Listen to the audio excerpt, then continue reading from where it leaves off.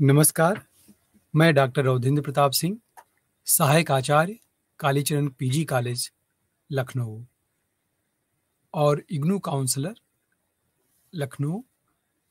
प्रिय विद्यार्थियों, जैसा कि पिछले व्याख्यान में हमने बी एच डी एल एक के अंतर्गत निबंध, कहानी व्यंग्य लेखन इत्यादि विधाओं पर विस्तार से चर्चा की। बी एच डी एल एक का यह पाठ्यक्रम कुल दो खंडों में व्यवस्थित है जिनमें कुल तेरह इकाइयाँ हैं। पाठ्यक्रम का आज दूसरा खंड पर व्याख्यान है। इस खंड में भी छह इकाइयाँ शामिल हैं।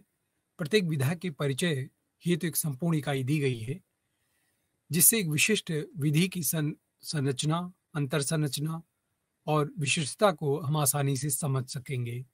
प्रत्येक इकाई साहित्य की विशिष्ट विधा की स्वतंत्र लेखन शैली को समझने में सहायक होती है। इकाई सात के अंतर्गत डायरी विधा का विस्तार से उल्लेख किया गया है और इकाई सात में साहित्यिक विधा डायरी है। इसके अंतर्गत डायरी विधा की विशेषताएँ और डायरी लेखन का संस्मरण, यात्रा वृत्तांत और आत्मकथा लेखन से जो मूल अंतर है, उसे स्पष्ट करने का प्रयास किया गया है। इकाई आठ में पत्र साहित्य की विशिष्ट विशेषताओं पर प्रकाश डाला गया है। गद्य विधाओं से पत्र साहित्य का अंतर विश्लेषित किया गया है। रिपोर्टाज विधा पर केंद्रित इकाई संख्या नौ है, जिसमें रिपोर्टाज की विशेषताएँ बताई गई हैं और रिपोर्टाज का अध्ययन करने के पश्चात हम ये स्पष्ट कर सकेंगे कि रिपोर्टाज किसे कहते हैं, रिपोर्टाज का हिंदी साहित्य में क्या योगदान है, क्या उसकी प्रमुख विशेषताएँ हैं। इसे निश्चित रूप से हमें एक स्पष्ट दृष्टिकोण प्राप्त होगा। इकाई संख्या दस में हिंदी के प्रमुख यात्रा वृत्तांतों का उल्लेख किया गया गया है, उनका परिचय दिया गया है। उसकी विशेषताएँ और अन्य गतिविधाओं से उसका अंतर भी बताया गया है।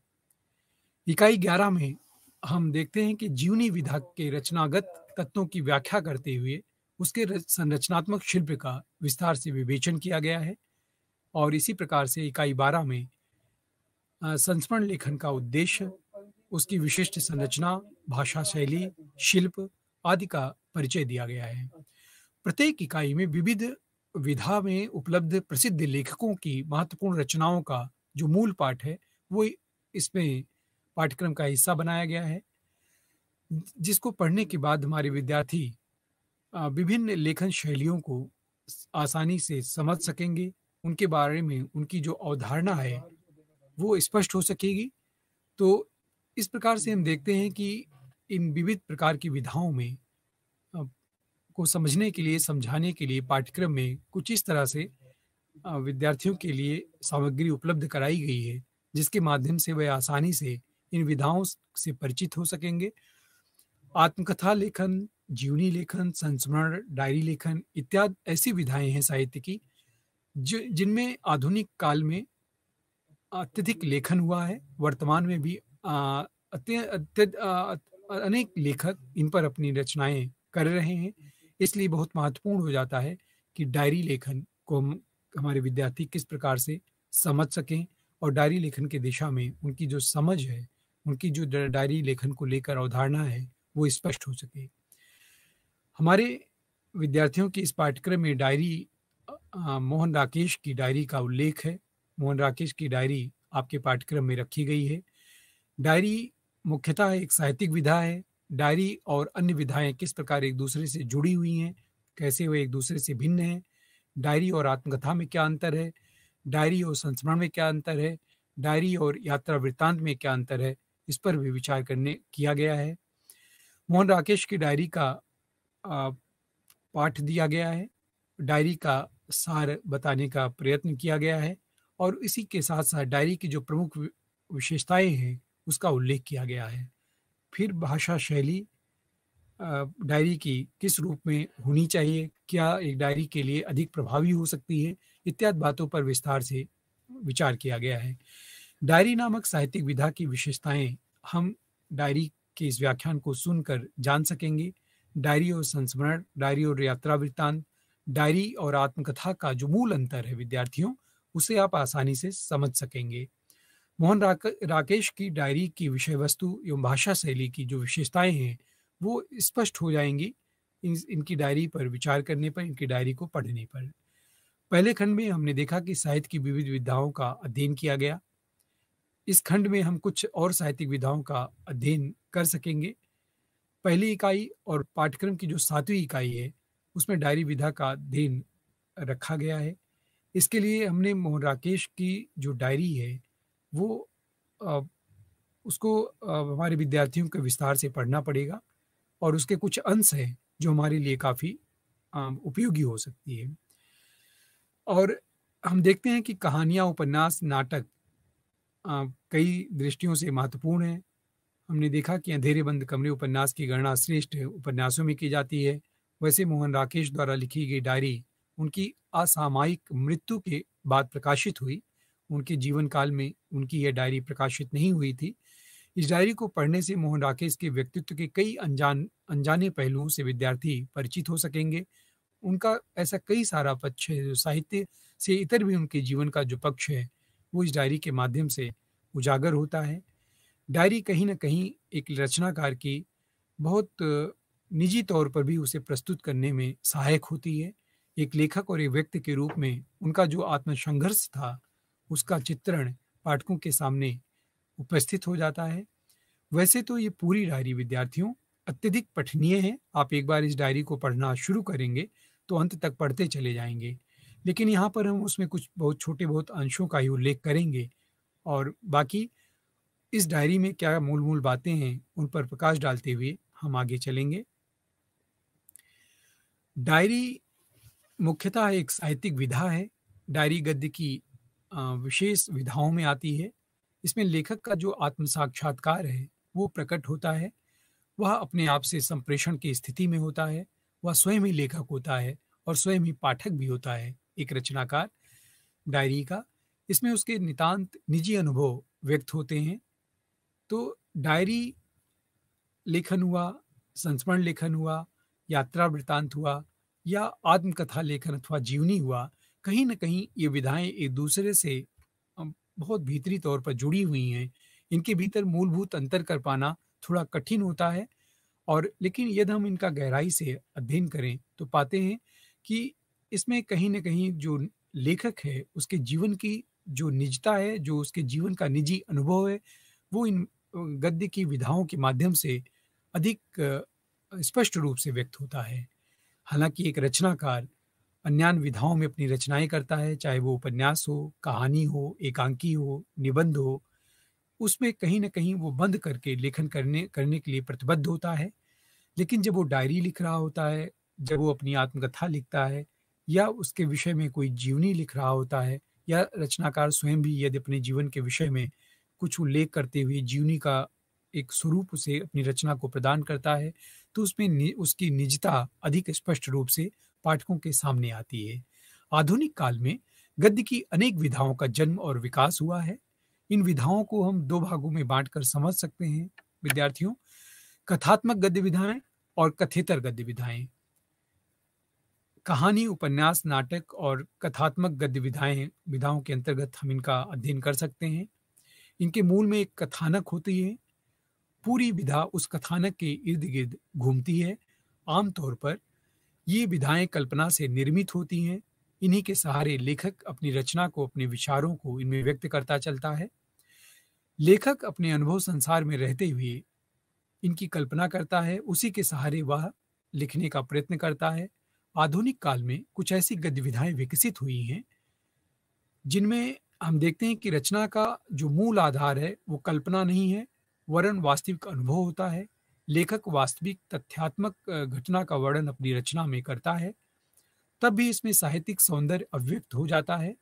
डायरी, पत्रलेखन, संस्मरण, यात्रा वृत्तांत, आत्मकथा, जीवनी रिपोर्टाज, आज विधाएँ, कथितर गतिविधाओं के अंतर्गत आती हैं।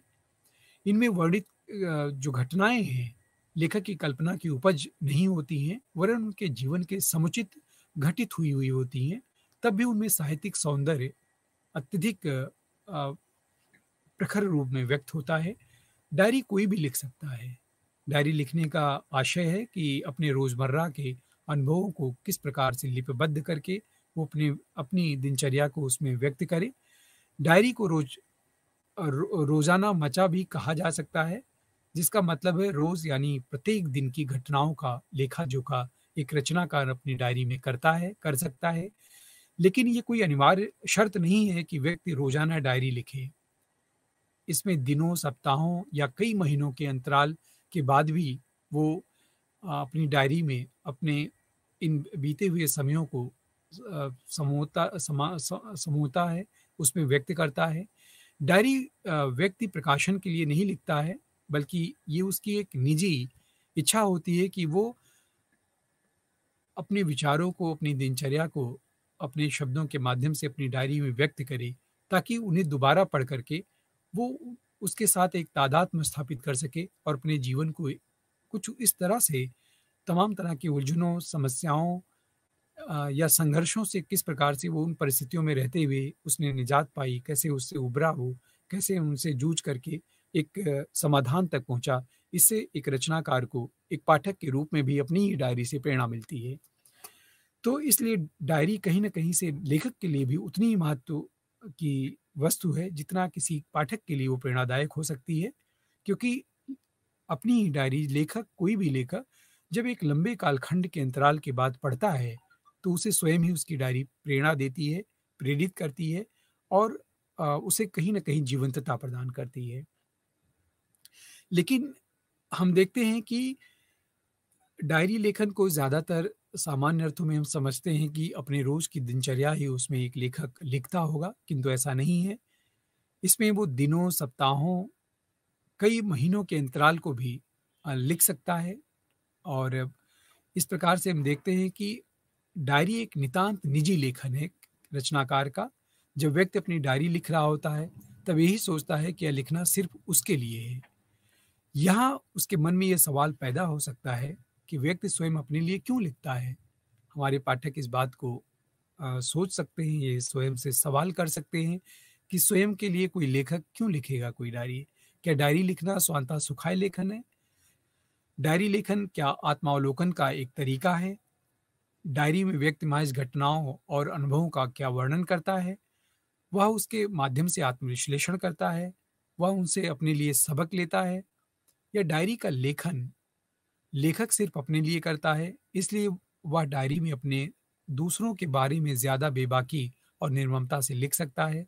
आमतौर पर विद्यार्थियों हम देखते हैं कि डायरी लिखने वाले से ये अपेक्षा की जाती है कि वह उसमें कुछ ईमानदारी से लिखेगा। ईमानदारी से लिखना डायरी की बुनियादी शर्त है। इसके लिए लेखक में आत्मबल का होना आवश्यक है। ये डायरी लिखते समय व्यक्ति सत्य का आवरण डालने की कोशिश करता है। सत्य पर वो आवरण डालने की कोशिश करता है या सत्य को पूरी बेबाकी के साथ अव्यक्त करने की आत्मशक्ति नहीं रखता है तो डायरी लिखने का जो उद्देश्य है, वो समाप्त हो जाता है। सत्य लिखने के साहस का मतलब ये नहीं है कि डायरी में जो कुछ लिखा जाता है, वह सत्य नहीं होता है। सही और गलत का संबंध सत्य और असत्य से सदैव होता है। ये ज़रूरी नहीं है, डायरी में बातें लेखक अपनी दृष्टि के अनुसार ही लिखता है और यहाँ उसकी दृष्टि अनुभवों के विश्लेषण में पूरी ईमानदारी से व्यक्त हो रही होती है। इसीलिए डायरी उस लेखक के दृष्टिकोण को समझने में सबसे ज़्यादा मददगार हो सकती है। डायरी लेखन में ये प्रश्न भी उपस्थित होता है कि कौन सी बातें डायरी में लिखी जानी चाहिए और कौन सी बातें डायरी में नहीं लिखी जानी चाहिए। क्या इसका ध्यान एक लेखक रखता है या एक लेखक को रखना चाहिए? वैसे तो इसका फैसला या इसका निर्णय स्वयं लेखक करता है, लेकिन आमतौर पर उन घटनाओं और अनुभवों को डायरी में लिखने के लिए लेखक चुनता है, जिन्हें वह अपने लिए महत्वपूर्ण समझता है, या कोई साधारण सा अनुभव भी हो सकता है, लेकिन उसका साधारण से अनुभव में लेखक संभव है किसी गहरे सत्य का आलोक देख रहा हो। किसी गहरे तथ्य को वो अपने सामने उस डायरी में उसका उल्लेख कर रहा हो। इसलिए डायरी में घटना, अनुभव अत्यधिक महत्वपूर्ण नहीं होता है। महत्वपूर्ण होती है लेखक की अंतर्दृष्टि, जिसके माध्यम से वह घटना या अनुभव को अपनी डायरी में दर्ज करता है। विद्यार्थियों, डायरी निजी लेखन है और वह प्रकाशन के लिए नहीं होती है। ये बात हमने पहले भी आपको बताई। इसलिए उसमें शिल्प का उतना महत्व नज़र नहीं आता है, लेकिन ऐसा भी नहीं है कि एक रचनाकार के लिए तो डायरी का लेखन भी एक रचनात्मक चुनौती ही होती है, क्योंकि रचनाकार का, जो व्यक्तित्व है, रचनाकार का जो अपना हुनर है, वो उसकी डायरी में भी सम्मिलित होता है। कथ्य की दृष्टि से भी और शिल्प की दृष्टि से भी डायरी अत्यंत महत्वपूर्ण विधा है। डायरी के लेखन की सबसे बड़ी शक्ति ये होती है कि उसमें लेखक अपनी बात को मनचाहे ढंग से रख सकता है, लेकिन सत्य से बधा होने के कारण उसे बंध कर भी रहना पड़ता है। वह सत्य को उजागर करने के लिए भाषा में निहित संभावनाओं का पूरा उपयोग करता है। वह अपनी बात और अपने भावों तथा विचारों के अनुसार भाषा और शैली को ढाल सकता है। ऐसा करते हुए उसे अपनी रचनात्मक क्षमता का अत्यंत सावधानी से उपयोग करना पड़ता है।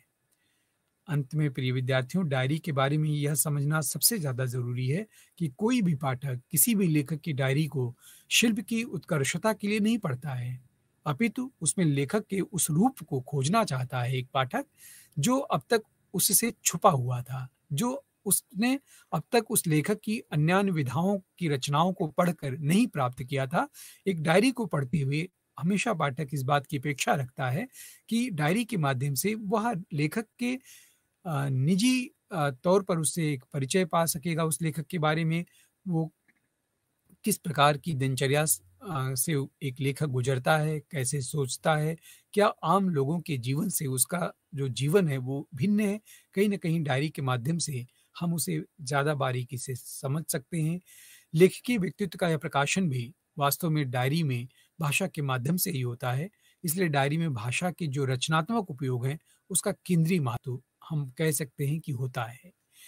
डायरी और अन्य विधाओं की यदि हम तुलना करें और देखें कि डायरी और अन्य विधाओं के साथ डायरी का किस प्रकार से अंतर संबंध है, डायरी किस प्रकार से अन्य विधाओं के रूप में जुड़ी होती है कथितर गतिविधाओं का जो तुलनात्मक अध्ययन है, हमें डायरी को समझने में वो सहायता प्रदान करेगी। इसलिए हम डायरी और अन्य गतिविधाओं की तुलना कर सकते हैं। डायरी, आत्मकथा, संस्मरण, यात्रा वृत्तांत और पत्र, इन सभी गतिविधाओं में लेखक के वास्तविक अनुभवों और उसके जीवन की तथ्यात्मक घटनाओं का वर्णन मिलता है। विद्यार्थियों, इन सभी विधाओं के केंद्र में लेखक का स्वयं का जीवन होता है। उसके स्वयं के जीवन का चिंतन और दृष्टिकोण निहित होता है। इन सभी विधाओं में कहीं ना कहीं तथ्यात्मक सूचनाओं का संप्रेषण होता है लेकिन ये लेखक का उद्देश्य नहीं होता है कि वो केवल आ, वो आ, इन सूचनाओं को अपनी डायरी का हिस्सा बनाते हुए उसे व्यक्त करे। यदि उसने मात्र सूचनाओं को संप्रेषित करने के लिए इन विधाओं का उपयोग किया है तो इनकी व्यवहारिक उपयोगिता तो नहीं रह सकती। परंतु साहित्यिक या कलात्मक उपयोगिता इसमें ज़रूर क्षीण होगी। ऐसी किसी सामग्री को हम साहित्यिक रचना की श्रेणी में कदाचित नहीं रख सकते हैं। डायरी और आत्मकथा की यदि हम बात करें तो डायरी आत्मकथा का ही एक रूप है। आत्मकथा में भी लेखक अपने जीवन की कहानी को कहता है। डायरी के पन्नों में भी लेखक अपने जीवन के बारे में ही बताता चलता है। जब आत्मकथा का लेखक अपने जीवन की कहानी दूसरों को सुनाना चाहता है तो उसका श्रोता या पाठक उससे अलग होता है। उसका एक उद्देश्य होता है। अच्छी आत्मकथा आत्म साक्षात्कार का ही एक रूप होती है, लेकिन वह इसके लिए आत्मकथा नहीं लिखता है। उसके जीवन में कुछ ऐसा होता है, जिसे वह दूसरों को सुनाना चाहता है। यही कामना उसे आत्मकथा लिखने के लिए प्रेरित करती है। इसलिए हर आत्मकथा का एक अंतर्निहित उद्देश्य होता है। वह पूरी रचना उस उद्देश्य से बधी हुई चलती है। और एक लेखक आत्मकथा का उसी उद्देश्य की पूर्ति के लिए अपनी रचना को गति देता है, उसे एक स्वरूप प्रदान करता है। डायरी में कुछ कुछ भी ऐसा नहीं होता है, विद्यार्थियों। डायरी अपने शुद्ध रूप में स्वयं को संबोधित करती है, स्वयं को संबोधित करते हुए रचती है। उसका लेखक ही उसका पाठक होता है, प्रथमतः वह आत्म साक्षात्कार का शुद्ध रूप है। अपने आप से संवाद ही उसका उद्देश्य होता है, इसलिए डायरी में कई संकेत अनकहे रह जाते हैं। कई बड़े प्रकरण संकेत में सिमट कर रह जाते हैं, जबकि आत्मकथा में लेखक उस पूरे प्रकरण को विस्तार से, पृष्ठभूमि सहित लिखता है। आत्मकथा प्रकाशित होने के लिए ही लिखी जाती है, जबकि डायरी प्रकाशित होने के लिए कोई भी रचनाकार नहीं लिखता है। इसलिए आत्मकथा में लेखक तथ्यों और घटनाओं को जोड़ तोड़ मरोड़ कर अपने हित में या अपनी दृष्टि से भी प्रस्तुत कर सकता है। उसे आत्म औचित्य की स्थापना की भी चिंता होती है। डायरी लेखक के लिए के सामने ये मजबूरी नहीं होती है क्योंकि डायरी, हमने बताया कि वो उसके निजी जीवन के अनुभवों को व्यक्त करती है। डायरी कभी भी सामान्यतः कोई लेखक प्रकाशित होने के लिए नहीं लिखता है।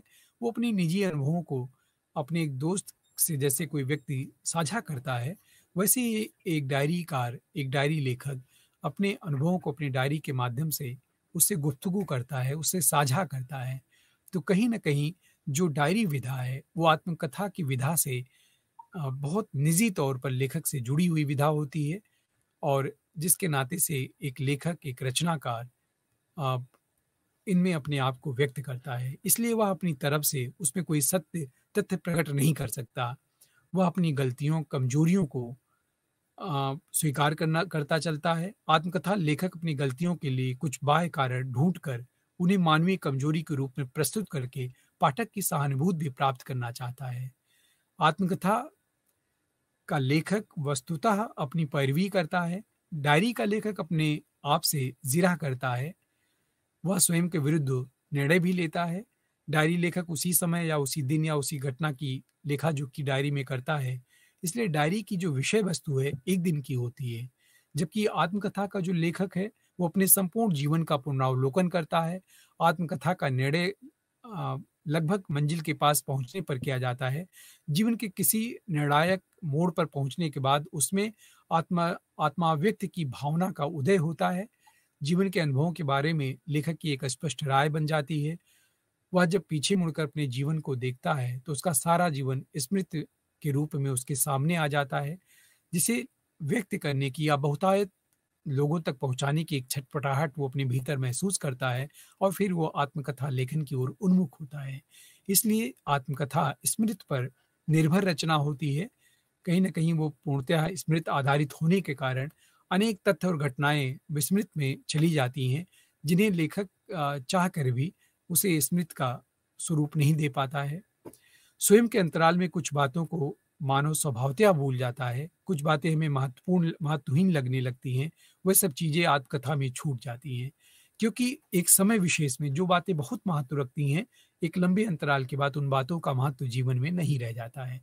आत्मकथा लेखक के सामने भी इस तरह की चुनौतियाँ होती हैं, जिन्हें लेखक चाह करके भी अपनी रचना का हिस्सा नहीं बना पाता है।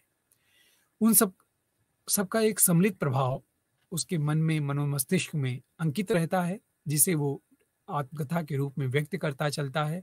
उस प्रभाव के माध्यम से लेखक उन महत्वपूर्ण क्षणों को पुनर्रचना करने की कोशिश करता है। जिस क्षण हम उन अनुभवों से गुजर रहे होते हैं, उस क्षण हम क्या सोच रहे होते हैं, यह डायरी का डायरी का कथ्य है, ना कि आत्मकथा का कथ्य डायरी में वस्तुतः देखा जाए तो जो भी रचनाकार लिखता है, वो वास्तविकता के अधिक निकट होता है। कहीं ना कहीं उसकी संवेदनाएँ भी उसमें अधिक प्रखर रूप में व्यक्त होती है या बहुत स्वाभाविक रूप में व्यक्त होती है, जबकि एक लंबे कालखंड के अंतराल के फलस्वरूप, आत्मकथा लेखन में वो बातें उस रूप में, उस जीवंत रूप में या उस प्रखर रूप में नहीं आ पाती हैं। हालाँकि रचनाकार अपनी कौशल और प्रतिभा के बल पर उसमें डायरी की भी के बराबर या समतुल्य जीवंतता ला देता है या उसी प्रकार की संवेदना उसमें उत्पन्न करने की क्षमता वो रखता हो, ये एक अलग बात है। लेकिन डायरी लेखन में जो बातें स्वाभाविक रूप में आ जाती हैं और वहीं पर वही बातें उसी रूप में लिखने के लिए आत्मकथाकार को अपने आत्मकौशल, लेखन कौशल का प्रयोग उसमें करना पड़ता है। तो यह आत्मकथा का कथ्य डायरी में तात्कालिक प्रतिक्रिया होती है। ऐसी बातें हो सकती हैं जिन्हें आगे चलकर स्वयं लेखक ही नकार दे, किंतु डायरी लेखन में वो बातें उस समय एक लेखक लिख लेता है डायरी के लेखन में वास्तव में निरंतरता होती है। इस निरंतरता के कारण डायरी के कथ्य में अंतर विरोध भी हो सकता है। डायरी लेखन के दौरान लेखक विकसित होता रहता है, उसके विचार विकसित होते रहते हैं, वह पुराने विचारों को त्याग कर नए विचार ग्रहण करता है। ये वैचारिक यात्रा लेखक को समझने में, वास्तव में सहायक होती है। आत्मकथा में जो लेखक अपने अंतिम निष्कर्ष देता है, वह उसके प्रतिनिधि विचार होते हैं। इसलिए डायरी में व्यक्त विचारों को हम लेखक की अंतिम प्रामाणिक या प्रतिनिधि राय नहीं मान सकते हैं, क्योंकि एक समय विशेष में जो बातें मन में आती हैं, डायरी का लेखक अब उन बातों को ज्यों कहते अपनी डायरी में लिख देता है, लेकिन साल, दो साल या एक लंबे अंतराल के बाद स्वयं लेखक ही उन विचारों से, उन बातों से इतफाक नहीं रखता है, उन विचारों के साथ स्वयं को भी खड़ा होता नहीं पा पा पाता है, इसलिए कहीं ना कहीं जो डायरी है वो रचनाकार के विकास के रूप में हमारे सामने एक रचना बन करके आती है, जिसमें ये संभावना बराबर रहती है कि इसमें व्यक्त जो विचार हैं, वो तात्कालिक रूप में लेखक के स्वभाव और विचार और उसके दृष्टिकोण को व्यक्त करते हैं, उस समय विशेष या खाल, कालखंड विशेष के, जबकि आत्मकथा इससे भिन्न रूप में हमारे सामने आती है। यदि हम डायरी लेखन और संस्मरण की बात करें, विद्यार्थियों तो जब कोई व्यक्ति किसी दूसरे व्यक्ति के बारे में किसी तीसरे व्यक्ति को कुछ बताना चाहता है, तब वह सीधे अर्थों में हम कहें कि लेखन की, वो लेखन की संस्मरण की विधा को अपनाता है। डायरी लेखन और पाठ, और पाठक एक ही व्यक्ति होता है, जो डायरी का लेखक होता है और उसका जो पाठक होता है प्रारंभिक, वो एक ही व्यक्ति होता है कि क्योंकि जो डायरी लेखक लिख रहा होता है, वो उसे कोई किसी पुस्तक के रूप में रचने का प्रयास नहीं करता है, अपितु अपने जीवन को अपने से ही साझा करता है। जबकि संस्मरण लेखक की विधा को अपनाता है, जब कोई लेखक, लेख संस्मरण को अपनाता है लिखने में, डायरी तो वो उससे भिन्न होता है, वह अपने लिए ही लिखता है। वहीं पर, लेकिन संस्मरण में कोई पाठक होता है, वो किसी पाठक के, को दृष्टि में लिख करके ही संस्मरण लिखा जाता है ऐसे में हम देखते हैं कि लेखक अपने से इतर किसी अन्य व्यक्ति को कुछ कहना चाहता है। इस स्तर पर संस्मरण आत्मकथा के अधिक करीब होता है। संस्मरण का जो उद्देश्य होता है, वो प्रायः सामाजिक दृष्टिकोण से महत्वपूर्ण, व्यक्ति के बारे में कुछ नई बातें बताने का होता है। संस्मरण का जो नायक है या जो उसकी विषय वस्तु है संस्मरण की, वो सामाजिक दृश्य से अधिक महत्वपूर्ण या लोकप्रिय व्यक्ति केंद्रित होती है। आमतौर पर हम देखते हैं कि अति सामान्य व्यक्ति का संस्मरण प्रायः नहीं लिखा जाता है, लेकिन ऐसा अनिवार्य भी नहीं है। एक लेखक किसी पर भी संस्मरण लिख सकता है किंतु प्रायः वो कहीं ना कहीं किसी विशिष्ट व्यक्ति पर ही संस्मरण लिखा जाता है। पंडित जवाहरलाल नेहरू जी, प्रेमचंद, अल्बर्ट आइंस्टीन, बिरजू महाराज जैसे लोगों पर अनेक संस्मरण लिखे गए हैं हमारे साहित्य में। पाठक इनको जानता है, वह इनके बारे में और भी बहुत सारी बातें जानना चाहता है। इसलिए वो संस्मरण का अध्ययन करता है। इसलिए एक सामान्य आदमी भी इसके बारे में अपने संस्मरण सुना सकता है। संस्मरण में लेखक, संस्मरण जिस व्यक्ति के बारे में है और पाठक, ये तीन बिंदु होते हैं। डायरी में लेखक ही पाठक होता है। लेखक अपने बारे में भी डायरी लिख सकता है। इस तरह ये संभव है कि डायरी का विषय भी लेखक स्वयं हो सकता है। पाठक और लेखक तो वह होता ही है। प्रिय विद्यार्थियों संस्मरण में लेखक से इतर किसी व्यक्ति अथवा नायक का होना आवश्यक है। सिर्फ़ अपने बारे में कही गई बातें संस्मरण की श्रेणी में नहीं आती हैं। संस्मरण का विषय होना अनिवार्य है। उसमें एक विषय का होना तय करना पड़ता है, जबकि डायरी में किसी पूर्व निर्धारित विषय के लिए लेखक बाध्य नहीं होता है। उसमें कहीं ना कहीं वो अपने जीवन जीवन की दिनचर्या को ही व्यक्त करने के लिए प्रतिबद्ध होता है। संस्मरण में भी आत्मा आत्मा व्यक्त की संभावना अधिक होती है, लेखक अपने बारे में भी बीच बीच में कुछ कुछ बातें कहता चल जाता है। दरअसल, संस्मरण का विषय दो व्यक्तियों का साझा अनुभव होता है। लेखक और विषय जिस बिंदु पर आकर मिलते हैं, उसका वर्णन संस्मरण का कथ्य होता है। लेखक अपने बारे में जो कुछ भी कहता है, उसका संबंध प्रस्तुत व्यक्ति से कुछ कुछ कुछ ना कुछ होता ही है। इसी तरह प्रस्तुत व्यक्ति का कुछ न कुछ संबंध लेखक से होना चाहिए। जिस व्यक्ति को हम नहीं जानते हैं उसका संस्मरण लिखने का हम जोखिम नहीं उठा सकते हैं ना हमें अधिकार होता है। इसी तरह उस व्यक्ति के बारे में आ, हम वही बातें लिख सकते हैं जिन जिन जितना कुछ हम उसके बारे में स्वयं जानते हों देखते हों महसूस करते हों हम सुनी सुनाई बातों पर संस्मरण नहीं लिख सकते हैं। संस्मरण के द्वारा उस व्यक्ति के बारे में अपनी गवाही देते हैं समाज में पूर्व में प्रचलित बातों को पुष्ट करते हैं संस्मरण लिख सकते हैं उस व्यक्ति के बारे में भी हम नई बातें कह सकते हैं। तो ऐसे में आ, एक संस्मरण लिखने के लिए सबसे पहले उस विषय वस्तु के बारे में स्वयं का साक्षात्कार होना अति आवश्यक है। डायरी हम में से कोई भी लिख सकता है इसी तरह आपके संस्करण भी आप ही लिख सकते हैं कोई दूसरा नहीं लिख सकता है। निजी निजता संस्करण और डायरी की भी अपनी विशेषता है। संस्मरण में आप कोई गोपनीय रहस्य उद्घाटित करें, ऐसा आवश्यक नहीं है। संस्मरण प्रकाशन के लिए लिखा जाता है, इसलिए उसमें लेखक का आत्मौचित्य पर ध्यान रख सकता है। किसी मार्मिक प्रकरण में वह अपनी भूमिका की सफ़ाई दे सकता है। इस दृष्टि से संस्मरण डायरी से दूर आत्मकथा के बहुत करीब होता है। संस्मरण भी आत्मकथा की तरह स्मृति से लिखा जाता है। इसमें भी कुछ बातें छूट जाती हैं। कुछ बातों को गैर ज़रूरी मानकर लेखक उन्हें स्वयं छोड़ देता है। प्रासंगिक दृष्टि से मूल्यवान बातों को भी वह इसमें कहता चलता है। इसलिए उसमें भी अतीत और वर्तमान दोनों कालखंडों को वो उपस्थित करता है अपने लेखन के माध्यम से। लेखक नए जीवन के आलोक में प्राचीन घटनाओं का पुनः संस्मरण करता है। तभी तो वह स्मरण है। इसके लिए वह डायरी का सहारा ले सकता है। परंतु उसका कथ्य डायरी से अलग हट जाता है। डायरी का जो लेखक है, लेखक भी है और अपनी डायरी में संस्मरण का उपयोग भी कर सकता है। परंतु उसके कथ्य का उद्देश्य थोड़ा भिन्न होता है। कहने का आशय यह हुआ कि जो डायरी लेखककार है, वो आत्मकथा लिखते लिखते समय अपनी डायरी में आत्मकथा, डायरी के कुछ अंशों का सहारा वो अपनी आत्मकथा लेखन में ले सकता है। किंतु डायरी लिखने के लिए उसे किसी प्रकार की सामग्री की आवश्यकता नहीं है क्योंकि ये वो उसके जीवन में प्रतिदिन घटित होने वाली घटनाओं पर अधिक केंद्रित होती है, या उसकी दिनचर्या हुई, उसके जीवन यापन की, का जो तरीका है, या रोज़मर्रा की ज़िंदगी में वो किस प्रकार की समस्याओं से, चुनौतियों से, संघर्षों से अपने जीवन को आगे ले चलता है, उनसे जूझता है, कैसे वह उनका समाधान पाता है विशेष रूप से अपनी डायरी में वो अपने इन्हीं सब बातों को समाहित करता है, इन्हीं सब बातों का उल्लेख करता है इसी प्रकार हम देखते हैं कि डायरी और यात्रा वृतांत में क्या अंतर है और यात्रा वृतांत और डायरी विधा दोनों एक दूसरे से किस प्रकार से जुड़ी हुई हैं, कैसे एक दूसरे के लिए दोनों विधाएँ सहायक है, ये भी एक विचारणीय बिंदु है। हम प्रायः देखते हैं कि यात्रा वृतांत में लेखक किसी स्थान विशेष का वर्णन करता है, स्थान विवेश स्थान विशेष की विवेचना अपनी यात्रा वृत्तांत के माध्यम से करना चाहता है ज़ाहिर है कि ऐसा वर्णन उन स्थानों का होता हो है जहाँ लेखक स्वयं गया हो जहाँ जो स्थान लेखक को स्वयं पसंद हो सुनी सुनाई बातों के आधार पर यात्रा वृत्तांत भी लिखना संभव नहीं है।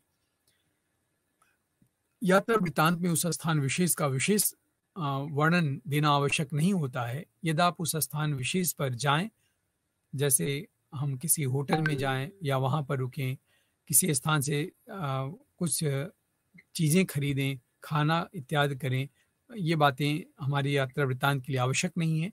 एक अच्छे यात्रा वृत्तांत में तथ्य और कल्पना का मिश्रण होना आवश्यक है। हम उसे, उस यात्रा वृत्तांत को किस रूप में रचनात्मक बनाएँ? कैसे उस यात्रा वृत्तांत को पाठक रोचकता के साथ पढ़ सके? कैसे उस यात्रा वृत्तांत से एक पाठक को ऊर्जा मिले, प्रेरणा मिले? कहीं ना कहीं उससे उत्साह और उसका उत्साहवर्धन हो, ज्ञानवर्धन हो तो यात्रा वृत्तांत के माध्यम से लेखक प्राय इन बातों का भी ध्यान रखता है। उदाहरण के लिए, किसी शहर में पुराना किला या घंटाघर बना हुआ हो, ये एक तथ्य है, लेकिन यदि यात्रा वृत्तांत कोई यात्रा वृत्तांत का लिखेगा तो उसमें इसका उल्लेख होगा। ये उल्लेख पर्यटक निर्देशिका में भी हो सकता है। दोनों तरह की पुस्तकों में भी चहल पहल, आवाजाही, दुकानदार ग्राहकों के व्यवहार, मौसम का ज़िक्र आज होगा ही। अब उस घंटाघर या पुराने किले को देखकर लेखक के मन में जो भावनाएँ जागृत होती हैं, लेखक उन बातों, उन उन चीज़ों को देख करके क्या अनुभव करता है, किस प्रकार की अनुभूत को वो महसूस करता है और कैसे, फिर वो उसे कैसे रचनात्मक रूप में अपने लेखन का हिस्सा बनाता है, ये देखने की बात होती है। लेखक की कल्पना कहीं ना कहीं इसमें अधिक सक्रिय होती है, उसका योगदान होता है। उन सब का वर्णन पर्यटक निर्देशिका में नहीं होगा। ये कल्पनाशीलता और जो भाव, भावकुलता है, भावुकता है लेखक की, यात्रा वृत्तांत की अपनी विशेषता है। इसी कारण यात्रा वृत्तांत को हम सृजनात्मक साहित्य की श्रेणी में गिनते हैं। पर्यटक निर्देशिका के लेखक को व्यावसायिक लेखक हम मान सकते हैं, लेकिन हम उसे यात्रा वृत्तांत का लेखक कतई नहीं मान सकते। यात्रा वृत्तांत को डायरी के रूप में लिखा जा सकता है और डायरी संस्मरण के रूप में भी लिखी जा सकती है। इसको इस रूप में समझा जा सकता है कि डायरी का लेखन उस दिन का होता है, उस दिन एक दिन यदि आप किसी विशेष स्थान पर गए हों तो उसमें आप उसका वर्णन कर सकते हैं। डायरी का यह हिस्सा, यात्रा वृत्तांत का एक रूप हो सकता है। ये भी हो सकता है कि आप अपनी यात्रा संपन्न करने के बाद उसका वर्णन करने बैठे हों। ऐसे में स्पष्ट है कि ऐसा आप स्मृत के आधार पर ही करेंगे। भले ही यात्रा वृत्तांत डायरी की तरह उस दिन लिखा गया हो या लिखा जा रहा हो, परंतु उसे अपनी दौर उसी दौरान लिखा, लिख लिया जाता है। जब तक कि यात्रा का अनुभव आपको याद हो। इसीलिए यात्रा के 10-15 दिनों के भीतर उसे लिख लिया जा, जाना आवश्यक होता है। इस तरह यह सजीव स्मृत का लेखन होता है। यात्रा वृत्तांत का एक लक्ष्यभूत पाठक होता है। ये पाठक डायरी के पाठक से थोड़ा भिन्न होता है जहाँ रचना किसी व्यक्ति को संबोधित होती है वहाँ लेखक में औपचारिकता आ जाती है। आप ठीक से वाक्य बनाते हैं पूरी बात भूमिका के रूप में लिखते हैं अस्पष्टता अस्पष्टता से वो यात्रा वृत्तांत का लेखक बचता है, प्रत्येक संकेत को समझने की कोशिश करता है या लिखते हुए संप्रेषण के नियमों को ध्यान में रखता है, ये रचना कौशल डायरी से उसको अलग करती है। यात्रा वृत्तांत का कोई न कोई उद्देश्य अवश्य होता है। आमतौर पर किसी स्थान विशेष के सौंदर्य से या वहाँ की सामाजिक, सांस्कृतिक ज़िंदगी से प्रेरित होकर ही लेखक यात्रा करता है, यात्रा के लिए प्रेरित होता है और उस स्थान विशेष की यात्रा करके एक नए अनुभव से गुजरता है, उसके भीतर कुछ ऐसी भावनाएँ उत्पन्न होती हैं या उसे प्रेरित करती हैं ताकि वो यात्रा वृत्तांत लिखने के लिए बाध्य होता दिखता है। इसी प्रकार से आमतौर पर हम देखते हैं कि किसी स्थान विशेष के सौंदर्य से या वहाँ की सामाजिक, सांस्कृतिक ज़िंदगी से प्रेरित होकर लेखक यदि किसी स्थान विशेष की यात्रा करता है तो वो चाहता है कि पाठक भी उस अनुभव को अनुभव करें तो इसी कारण लेखक कहीं ना कहीं उन अनुभवों को पाठकों के साथ साझा करना चाहता है। उसकी भीतरी आकांक्षा होती है कि उस स्थान विशेष पर वो जाए, उसे उस लेखक की दृष्टि से भी एक बार देखे, वह पाठक के साथ संप्रेषण की स्थिति में आना चाहता है। हिंदी में अज्ञे और निर्मल वर्मा ने बहुत उत्कृष्ट यात्रा वृत्तांत लिखे हैं। और इन यात्रा वृत्तांतों को यदि विद्यार्थी पढ़ते हैं तो उनको यात्रा वृत्तांत के विषय में और अधिक स्पष्टता मिलेगी। तो इसलिए हमें यात्रा वृत्तांत को पढ़ करके ही उनके बारे में समझा जा सकता है। इसी प्रकार यदि हम उदाहरण के तौर पर डायरी लेखन की बात करें तो आ, डायरी लेखन विधा मोहन राकेश की जो पाठ्यक्रम में रखी गई है उसमें एक छोटा सा दृश्य है। जो डायरी के माध्यम से मोहन राकेश जी कहते हैं। और आप देखेंगे कि उस छोटे से अंश को पढ़ने के बाद भी जो लेखक है, उसे बड़ी रुचिता महसूस होगी, उसे लगेगा कि इस डायरी को काश मिल जाती तो हम पूरा पढ़ लेते। मोहन राकेश की डायरी में उन्नीस सौ अट्ठावन का एक किस्सा है, एक एक दिन का 26 जनवरी का, वो लिखते हैं, हवा में वासंती स्पर्श है, समय अच्छा अच्छा लगता है। ऐसे में अनायास मन होता है कि हल्के हल्के स्वर में किसी से बात करें, अपने चारों ओर घर की मिठास, घर की उष्णता हो।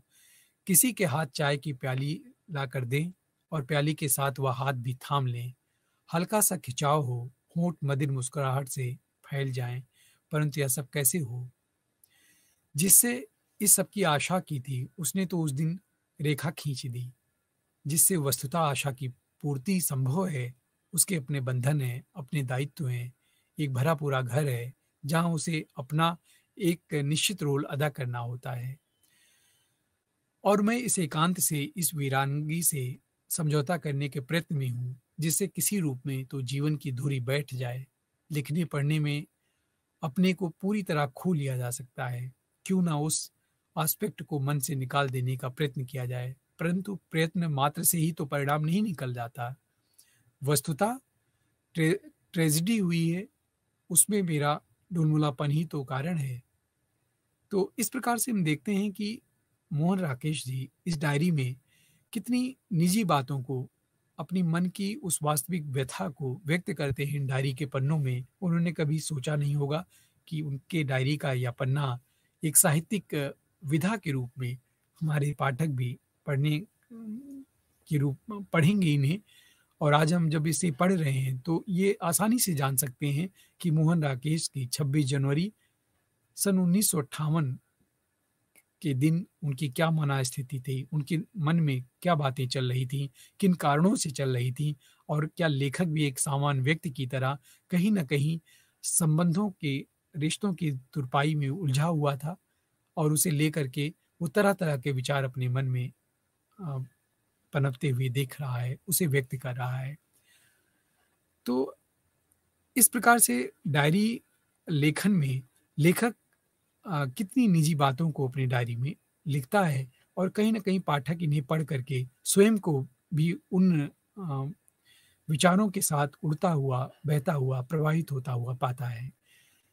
मोहन राकेश की डायरी का यदि हम सार्वत बात करें तो इस डायरी में जालंधर में रहते हुए उन्होंने 26 जनवरी उन्नीस सौ अट्ठावन को और 27 जनवरी उन्नीस सौ अट्ठावन के दिन ये डायरी उन्होंने लिखी थी। अपनी प्रसंचित मन स्थिति का ज़िक्र करते हुए लेखक हवा के रूमानी प्रभाव का उल्लेख करता है अपनी डायरी में। किसी से बात करने की मन की कामना करता है, उसका नाम नहीं लिखता है।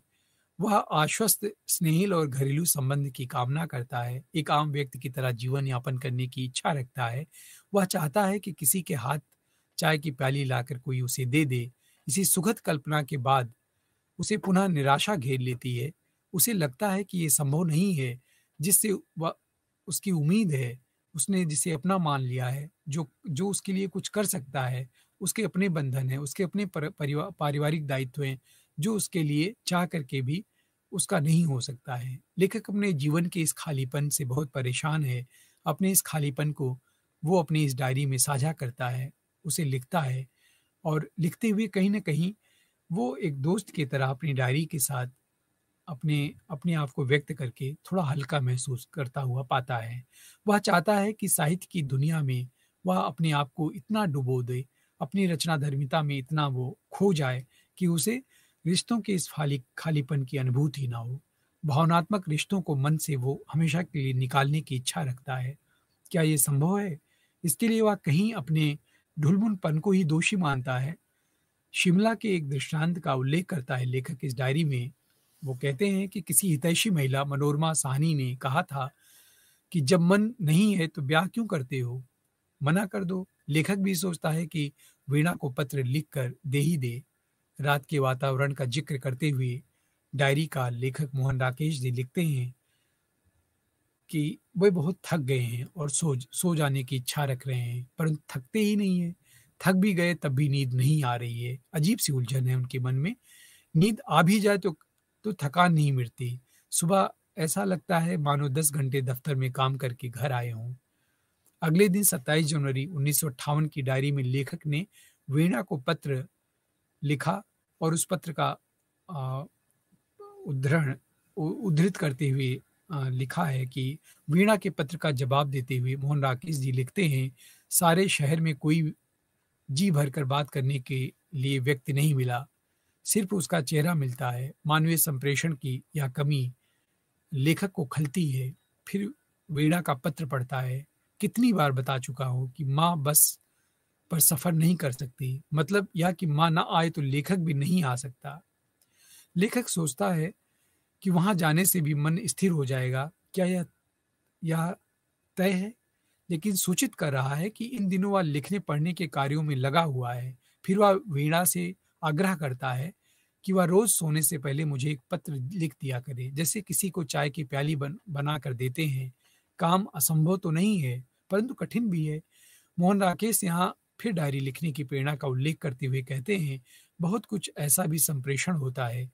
जिसे बात के रूप में देखें तो कुछ भी नहीं होता, पर होता वह बहुत कुछ है। लेखक सोने से पहले उमड़ने वाले उस कुछ को संप्रेषित करने के लिए व्याकुल होता है। उस कुछ की अभिव्यक्ति का एक रूप यह डायरी है। लेखक अपने आप को अभिव्यक्त करते हुए आगे कहता है कि उसमें धैर्य नहीं है, वह प्रतीक्षा नहीं कर सकता है किसी का। जो होना है, वह हो जाए। मौसम बदलना है तो तुरंत बदल जाए। परंतु ऐसा होता कहाँ है जीवन में? इसमें भी तो निराशा ही अधिक हाथ लगती है।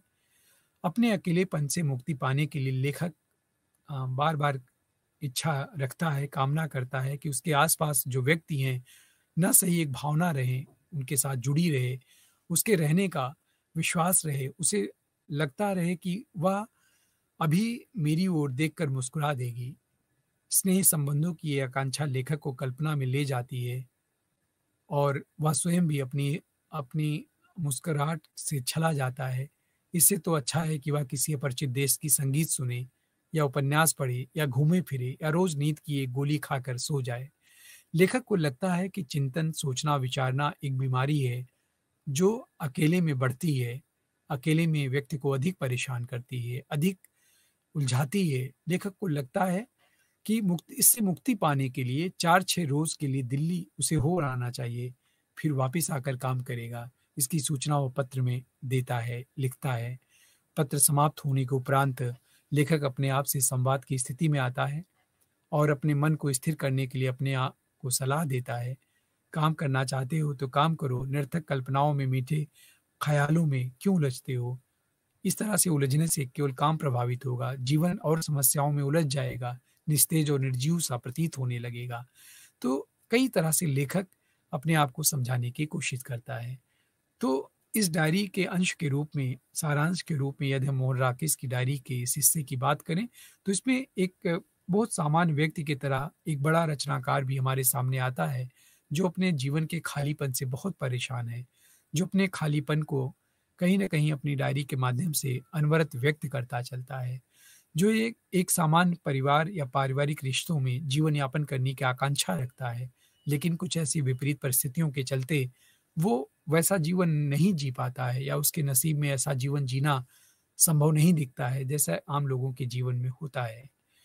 तो हम देखते हैं विद्यार्थियों की डायरी की जो विशेषताएँ हैं, वो यही है कि लेखक अपने निजी जीवन को व्यक्त करते हुए भी एक जब रचनाकार, एक जब लेखक अपनी डायरी लिखता है तो कहीं ना कहीं से वो, अपने जीवन के उन महत्वपूर्ण अंशों से कुछ ऐसी रचनात्मक बातें एक रचनाकार के तौर पर पाठकों के सामने रख देता है जिसे पढ़कर पाठक भी प्रेरित और उत्प्रेरित होता है। और कहीं ना कहीं वो अपने जीवन के इस तरह के निजी संघर्षों से बाहर निकलने का रास्ता खोज लेता है या खोजने की उसको प्रेरणा मिल जाती है। हम डायरी की विशेषताओं पर बात करें तो दो दिन की इस डायरी में लेखक ने अपने अकेलेपन की पीड़ा या भावनात्मक रिश्तों का वर्णन किया है। भावनात्मक रिश्तों में आए खालीपन का वर्णन किया है। यदि इसे रचना रचना के रूप में देखें तो हम पाएँगे कि इसमें नितांत तथ्यों का तथ्यों का नितांत अभाव है। इसमें किसी भी तथ्य का या किसी भी भावना को व्यक्त करने के पूर्व लेखक ने तथ्यों को तथ्यों का ब्यौरा नहीं दिया है। कौन सी घटना किस कारण से हुई है? कौन सी घटना किस रूप में हुई है? किन घटनाओं के पीछे कौन जिम्मेदार है? इन सब बातों पर वह अपना समय जाया नहीं करता है। वो केवल अपनी उन काल्पनिक और प्रेमिल बातों को बस वो व्यक्त करता चलता है या कहीं ना कहीं जीवन के खालीपन की छटपटाहट को अपनी डायरी का हिस्सा बनाता है। इसे रचना के रूप में देखें तो हम पाएँगे कि इसमें तथ्यों का अभाव होने के बावजूद भी ये बहुत प्रेरक डायरी है। डायरी का उद्देश्य हम जान सकते हैं। उसमें हमें कोई खास जानकारी मिलती हो, सो बात नहीं है। तथ्य नहीं है, तथ्यों के संकेत हैं। जिन्हें लेखक जानता है, उसे पता है, उन तथ्यों के प्रति मानसिक प्रतिक्रियाएँ लेखक ने व्यक्त की है।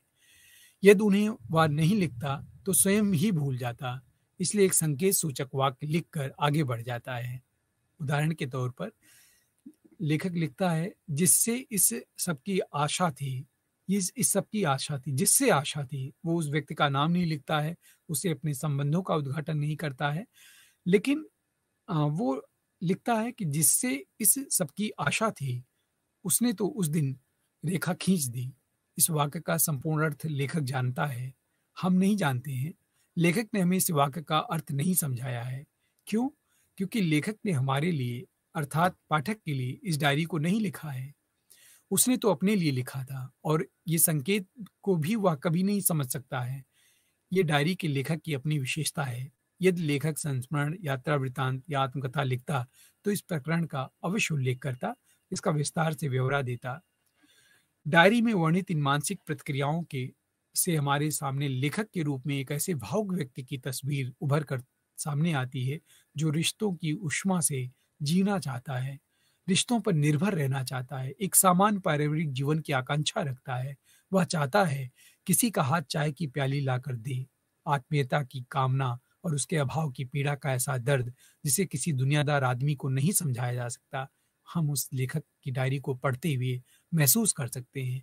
प्रत्येक पाठक इस डायरी के अंशों से गुजरते हुए ये पाता है कि एक एक बड़ा लेखक भी एक सामान्य, एक मामूली व्यक्ति की तरह उन संवेदनाओं के खालीपन से बहुत ही पीड़ित है। दूसरे लेखक स्वयं भी लेखक स्वयं भी जानना चाहता है, जानता है कि इस दर्द का इलाज संभव नहीं है, इसे सहना ही पड़ता है। जीवन के प्रत्येक क्षण, प्रत्येक पड़ाव पर फिर काम करे और थक जाए थक जाए तो सो जाए, परंतु दर्द की सीमा यहाँ तक नहीं है कि नींद आती है तो थकान दूर नहीं होती। दर्द की दवा की निर्थकता का एक एहसास ही लेखक को डायरी जैसी निजी और आत्मीय लेखन की ओर प्रेरित करती है।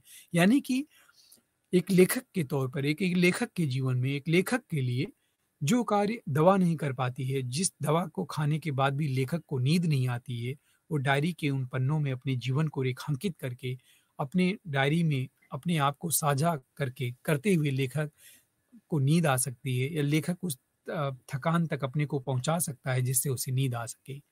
दो दिनों की इस डायरी में निरंतर निरंतरता है। सातत्य रूप में ये डायरी लिखी गई है। जो दर्द पहले दिन की डायरी में है, वही दर्द दिन वही दिन, वही दर्द दूसरे दिन भी लेखक के भीतर जहन में मौजूद है। इस दिन वीणा को पत्र लिखा गया है। इस पत्र में भी वही आत्म साक्षात्कार है। अपना ही उतावलापन है, अस्थिरता है, दिवा स्वप्न है, आकांक्षा है।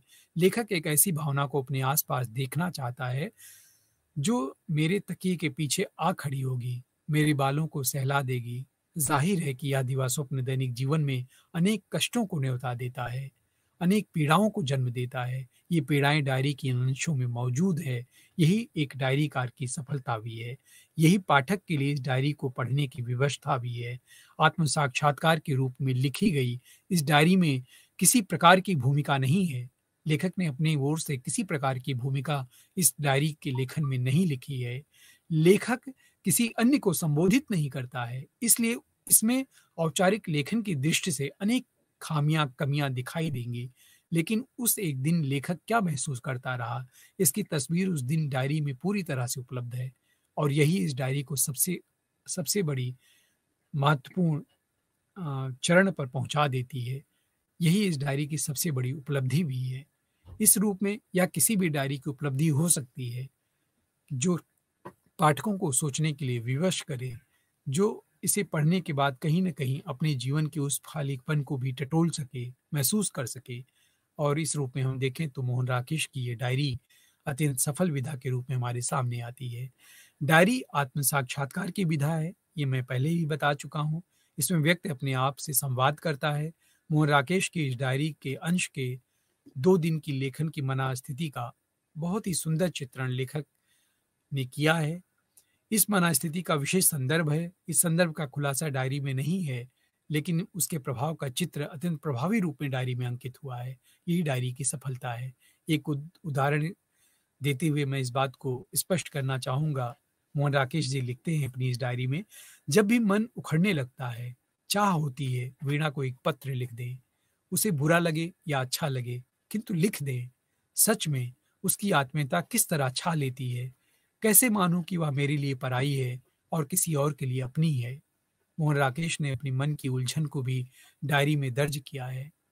मन में अगर बेचैनी है, मन में, मन अगर स्थिर नहीं है, मन यदि उतावला है तो काम अपने अपने को लगाए रखने में या किसी काम में अपने को लगाए रखना बहुत मुश्किल का काम हो जाता है।